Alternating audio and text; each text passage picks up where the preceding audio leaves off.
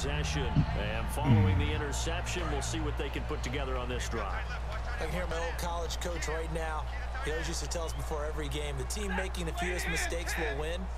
What they're hoping is that that last mistake is their only one of the game. Coaches, that's all they talk about, turnovers, right? Minimizing those and maximizing opportunities. They go back to the air here after the eye. And this is intercepted. And that should do it. Picked off by.